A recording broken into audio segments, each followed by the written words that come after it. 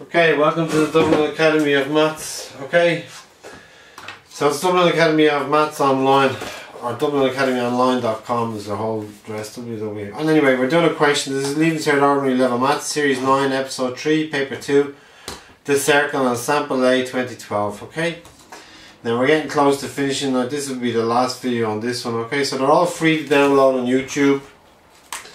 You can look at them now, but I'm going to make them free to download and then you um, you know if you like what you see or if you're following it there should be enough there to get you through the exam. But if you want to uh, continue on you can you can contact me through uh, the Dublin Academy at gmail.com anyway uh, I'm doing these questions and it's two sample A 2012 and it's part B okay and it shows you these circles. They're not the best circles but anyway it says um, the equation of C uh, the diagram shows four circles of equal radius. The circles are touching as shown. Okay, they're supposed to be just touching. Write down the radius of C1. Right, here's C1 and you just, um, well, because, you because, and this is, our, this is represent r squared. So what's r, r is, r squared is equal to 9. Okay, so therefore r is equal to root 9, which is equal to plus or minus 3, but we're only dealing with positives, so it's plus 3. Okay, so you would say or C1 is uh, the radius of C1 is uh, plus 3. Okay, so that's really it. You know, you put it in the form and you change around. We did it before. The next part says write down the coordinates of the center of C3. Now, center of C3. Okay, that's over there.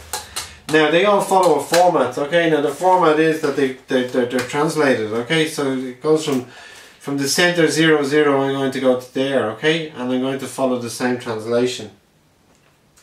So I'm going to write down the, the find the coordinates of this. So I'm going to go from C1 to uh, C4, okay?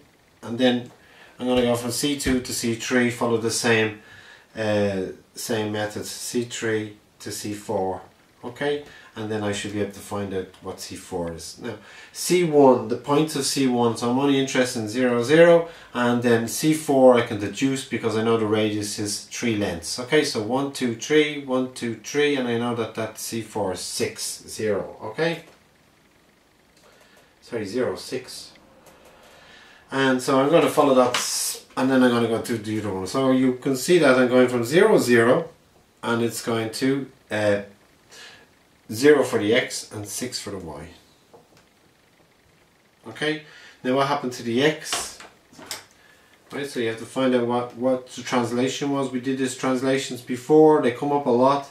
So the x went didn't change. What happened to the y? The y went from 0 to 6, so it went up 6. Okay, so that's the translation.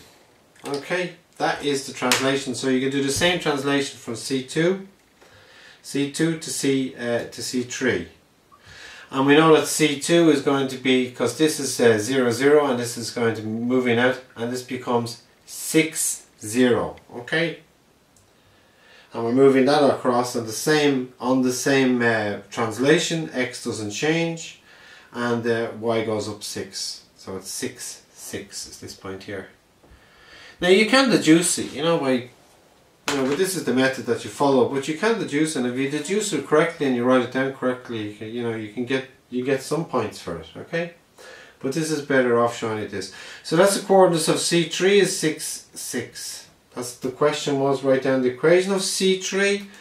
Okay, now I have to find the equation of C3. First of all, I have to find the length of the diameter. I know that the length of the diameter is, uh, or the radius is equal to 3. Um, we got out the last day, which was equal to 3 the last time. So I, I put them into my formula.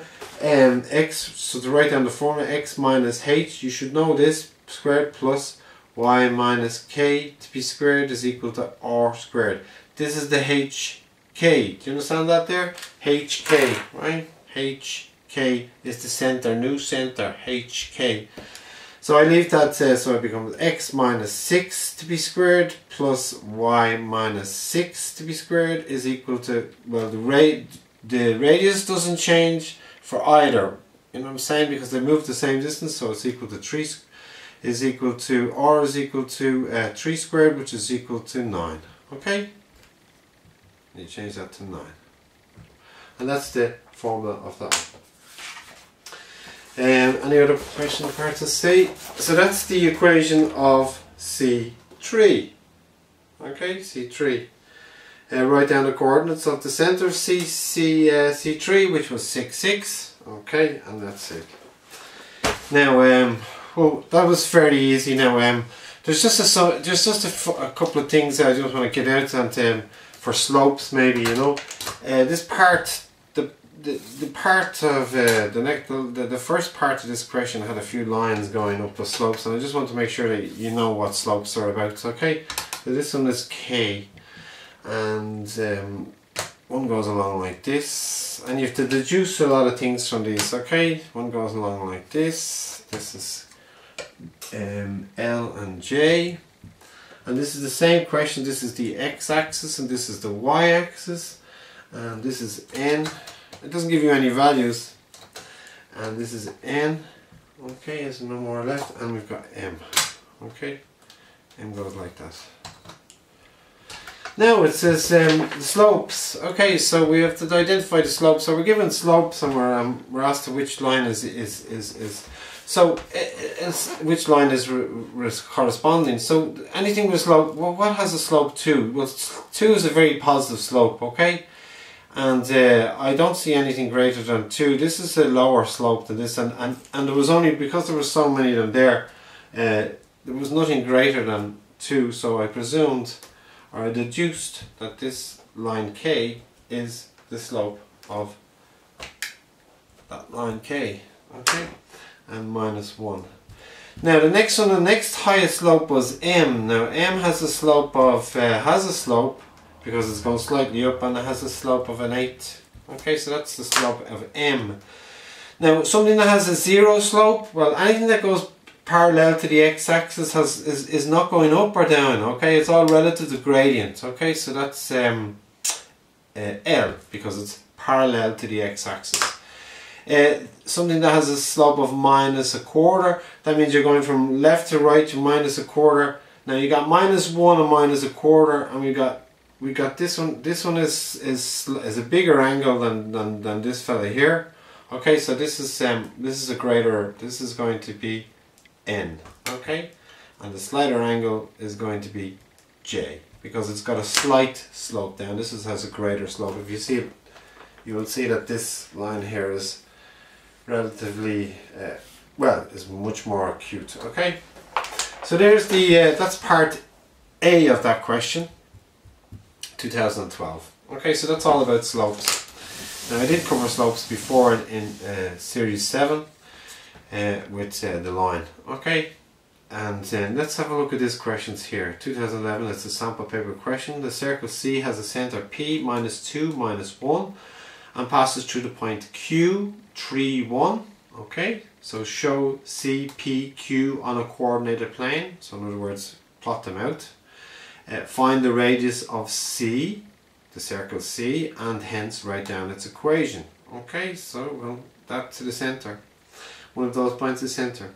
Or is the point 1, 6 by finding the slopes PQ, that's the slope PQ, the line PQ, and the line QR, show that QR is a tangent to C. Okay, show that it's a tangent to C. Now you've got a couple of choices here. It has this, it's the product of the slopes is equal to minus 1. If the product is equal to minus 1, it's got a, it's, it is a tangent. It cuts it at one point. Okay.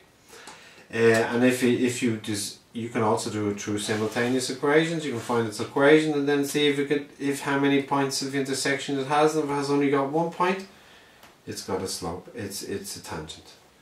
Okay, thank you. Now remember that question questions. Do all these questions, and if you want to get back to me at some uh, Dublin Academy online, so Dublin Academy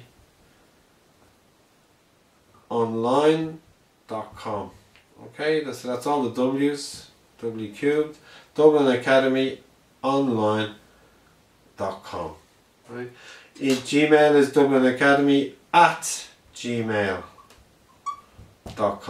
That's my personal one to the, to the, to the academy. Right, so that's great. So do those questions and then see you again sometime.